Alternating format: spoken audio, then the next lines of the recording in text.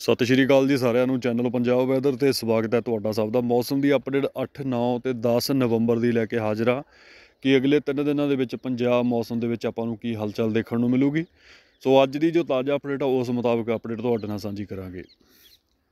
ਸੋ ਪੱਛਮੀ ਸਿਸਟਮ ਵੀ ਪੱਛਮੀ ਪਾਸੇ ਜਿਹੜਾ ਆ ਰਿਹਾ ਹੈ ਉਹ ਲਗਾਤਾਰ ਅੱਗੇ ਵੱਧ ਰਿਹਾ ਹੈ। ਥੋੜਾ ਬਹੁਤ ਪੰਜਾਬ ਉੱਪਰ ਬੱਦਲਬਾਈ ਦੇ ਰੂਪ ਵਿੱਚ ਪ੍ਰਭਾਵ ਦੇਖਣ ਨੂੰ ਮਿਲ ਰਿਹਾ ਹੈ। ਸਵੇਰ ਨੂੰ ਅੱਜ 8 ਤਰੀਕ ਥੋੜਾ ਬਹੁਤ ਧੁੰਦਲਾ ਮਾਹੌਲ ਸਵੇਰ ਦੇ ਪਹਿਲੇ ਘੰਟਿਆਂ ਵਿੱਚ ਦੇਖਣ ਨੂੰ ਮਿਲੇਗਾ।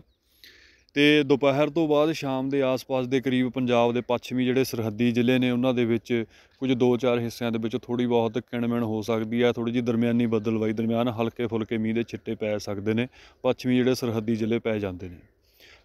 ਤੇ ਇਸ ਤੋਂ ਇਲਾਵਾ ਬਾਕੀ ਭਾਗ ਠੀਕ ਰਹਿਣਗੇ, ਕੋਈ ਜ਼ਿਆਦਾ ਵੱਡੀ ਮੌਸਮੀ ਹਲਚਲ ਨਹੀਂ ਹੈ 9 ਤਰੀਕ ਨੂੰ ਵੀ ਮੌਸਮ ਲਗਭਗ ਇਸੇ ਤਰ੍ਹਾਂ ਦਾ ਠੀਕ ਠਾਕ ਹਲਕੀ ਫੁਲਕੀ ਬੱਦਲਬਾਈ ਦਰਮਿਆਨ ਰਹੇਗਾ। ਕੁਝ ਇੱਕ ਦੋ ਹਿੱਸਿਆਂ ਵਿੱਚ ਛੋਟੀ ਬਹੁਤ ਜਿਹੜੀ ਹਲਕੀ ਫੁਲਕੀ ਕਿਣਮਿਣ ਹੋ ਸਕਦੀ ਹੈ। ਕਿਉਂਕਿ ਇਹ ਸਿਸਟਮ ਦੇ ਜਿਹੜੇ ਟੁੱਟਵੇਂ ਰੂਪ ਵਿੱਚ ਛੋਟੇ-ਮੋਟੇ ਬੱਦਲ ਨੇ ਹਲਕੇ ਫੁਲਕੇ ਭਾਗ ਉਹ ਪੰਜਾਬ ਤੱਕ ਪਹੁੰਚਣੇ ਸ਼ੁਰੂ ਹੋ ਗਏ ਨੇ। ਪਰ ਇਹ ਸਿਸਟਮ ਦਾ ਜਿਹੜਾ ਤਕੜਾ ਪ੍ਰਭਾਵ ਆ, ਉਹ ਆਪਾਂ ਨੂੰ 9 ਤਰੀਕ ਲਗਭਗ ਦੁਪਹਿਰ ਤੋਂ ਬਾਅਦ ਸ਼ਾਮ ਦੇ ਆਸ-ਪਾਸ ਤੋਂ ਸ਼ੁਰੂ ਹੁੰਦਾ ਹੋਇਆ ਦੇਖਣ ਨੂੰ ਮਿਲੂਗਾ।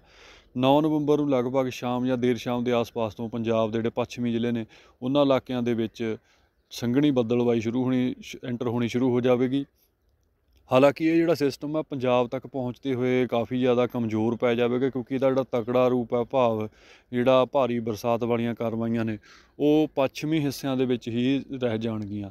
ਜਿਹਦੇ ਵਿੱਚ ਪਾਕਿਸਤਾਨ ਦੇ ਇਲਾਕੇ ਆ ਜਾਂਦੇ ਨੇ, ਉਹਨਾਂ ਇਲਾਕਿਆਂ ਵਿੱਚ ਭਾਰੀ ਬਰਸਾਤ ਹੋਵੇਗੀ, ਪਰ ਪੰਜਾਬ ਤੱਕ ਪਹੁੰਚਦੇ ਹੋਏ ਇਹਦਾ ਲਗਭਗ ਅੱਧੇ ਤੋਂ ਜ਼ਿਆਦਾ ਹਿੱਸਾ ਕਮਜ਼ੋਰ ਪੈ ਜਾਵੇਗਾ, ਪਰ ਫਿਰ ਵੀ ਪੰਜਾਬ ਦੇ ਕਈ ਹਿੱਸਿਆਂ ਦੇ ਵਿੱਚ ਆਪਾਂ ਨੂੰ ਹਲਕੇ ਤੋਂ ਲੈ ਕੇ ਦਰਮਿਆਨੇ ਪੱਧਰ ਦੇ ਮੀਂਹ ਦੇ ਸ਼ਰਾਟੇ ਜਿਹੜੇ 9 ਨਵੰਬਰ ਦੀ ਰਾਤ ਅਤੇ 10 ਨਵੰਬਰ ਦੀ ਸਵੇਰ ਨੂੰ ਦੇਖਣ ਨੂੰ ਮਿਲਣਗੇ।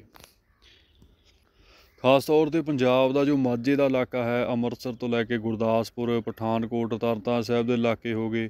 ਸੋ ਇਹਨਾਂ ਇਲਾਕਿਆਂ ਦੇ ਵਿੱਚ ਹੋ ਸਕਦਾ ਕੁਝ ਹਿੱਸਿਆਂ ਵਿੱਚ ਦਰਮਿਆਨੇ ਤੋਂ ਥੋੜੇ ਜਿਹੇ ਤਕੜੇ ਮੀਂਹ ਦੇ ਛਰਾਟੇ ਵੀ ਪੈ ਸਕਦੇ ਨੇ ਕੁਝ ਸਮੇਂ ਦੇ ਲਈ।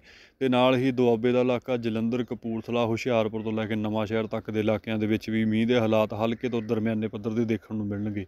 ਸੋ ਇਹਨਾਂ ਇਲਾਕਿਆਂ ਵਿੱਚ ਮੀਂਹ ਦੇ ਚਾਂਸ ਜ਼ਿਆਦਾ ਹੋਣਗੇ ਤੇ ਬਾਕੀ ਜਿਹੜਾ ਪੂਰਬੀ ਮਾਲਵੇ ਦਾ ਖੇਤਰ ਆ ਜਾਂਦਾ ਹੈ ਆਪਣੇ ਚੰਡੀਗੜ੍ਹ ਮੋਹਾਲੀ ਸਾਈਡ ਲੁਧਿਆਣਾ ਹੋ ਗਿਆ, ਫਤਿਹਗੜ੍ਹ ਸਾਹਿਬ ਦੇ ਇਲਾਕੇ ਹੋ ਗਏ, ਇਹਨਾਂ ਭਾਗਾਂ ਵਿੱਚ ਵੀ ਟੁੱਟਵੀਆਂ ਕਾਰਵਾਈਆਂ ਹੋ ਸਕਦੀਆਂ ਨੇ ਅਤੇ ਨਾਲ ਹੀ ਜਿਵੇਂ ਇਲਾਕੇ ਮਲੇਰਕੋਟਲਾ ਤੋਂ ਲੈ ਕੇ ਬਰਨਾਲੇ ਦੇ ਆਸ-ਪਾਸ ਦੇ ਇਲਾਕੇ ਹੋ ਗਏ, ਕੁਝ ਪਟਿਆਲੇ ਦੇ ਭਾਗ ਹੋ ਗਏ, ਇਹਨਾਂ ਭਾਗਾਂ ਮੋਗਾ ਜ਼ਿਲ੍ਹਾ ਹੋ ਗਿਆ, ਇਹਨਾਂ ਭਾਗਾਂ ਦੇ ਵਿੱਚ ਵੀ ਹਜੇ ਹਲਚਲ ਹੋਵੇਗੀ, ਫਿਰੋਜ਼ਪੁਰ ਦੇ ਇਲਾਕਿਆਂ ਵਿੱਚ ਵੀ ਕੁਝ ਅਜਿਹੀਆਂ ਹਲਚਲਾਂ ਹੋਣ ਦੇ ਚਾਂਸ ਨੇ। ਪਰ ਜੋ ਦੱਖਣ ਪੱਛਮੀ ਹਿੱਸੇ ਨੇ ਮਾਲਵੇ ਦੇ, ਜਿਹਦੇ ਵਿੱਚ ਫਾਜ਼ਿਲਕਾ ਤੋਂ ਲੈ ਕੇ ਫਰੀਦਕੋਟ ਹੋ ਗਿਆ, ਆਪਣੇ ਮਾਨਸਾ, ਬਠਿੰਡਾ, ਮੁਕਤਸਰ ਦੇ ਇਲਾਕੇ ਹੋ ਗਏ, ਇਹਨਾਂ ਭਾਗਾਂ ਦੇ ਵਿੱਚ ਹੀ ਸਿਸਟਮ ਦਾ ਪ੍ਰਭਾਵ ਥੋੜਾ ਜਿਹਾ ਆਪਾਂ ਨੂੰ ਘੱਟ ਸੀਮਤ ਦੇਖਣ ਨੂੰ ਮਿਲੂਗਾ। ਮੀਂਹ ਦੇ ਹਾਲਾਤ ਹਾਲਾਂਕਿ ਬਣ ਸਕਦੇ ਨੇ ਇਹਨਾਂ ਇਲਾਕਿਆਂ ਦੇ ਵਿੱਚ ਜ਼ਰੂਰ, ਪਰ ਕੋਈ ਵੱਡੀ ਤਕੜੀ ਕਾਰਵਾਈ ਹੋਣ ਦੇ ਅਸਰ ਨਹੀਂ ਹਨ। ਸੋ ਕਿਸਾਨਾਂ ਨੂੰ ਸਲਾਹ ਦਿੱਤੀ ਜਾਂਦੀ ਹੈ, ਮੌਸਮ ਦੇ ਮੱਦੇਨਜ਼ਰ ਵੀ ਜਿਹੜੇ ਕਿਸਾਨਾਂ ਨੇ ਹੁਣ ਫਸਲਾਂ ਦੀ ਕਟਾਈ ਚੱਲ ਰਹੀ ਹੈ ਤਾਂ ਕਟਾਈ ਨਿਬੇੜਨ ਆਪਣੀ ਇਸ ਮੌਸਮ ਤੋਂ ਪਹਿਲਾਂ ਪਹਿਲਾਂ ਤੇ ਕਣਕ ਦੀ ਬਿਜਾਈ ਵਾਲੇ ਵੀ ਕਿਸਾਨ ਇਸ ਮੌਸਮ ਨੂੰ ਮੱਦੇਨਜ਼ਰ ਰੱਖਦੇ ਹੋਏ ਆਪਣੀ ਕਣਕ ਦੀ ਬਿਜਾਈ ਕਰਨੀ ਚਾਹੀਦੀ ਹੈ ਤਾਂ ਜੋ ਕਿਸੇ ਕਿਸਮ ਦਾ ਕੋਈ ਨੁਕਸਾਨ ਨਾ ਹੋਵੇ।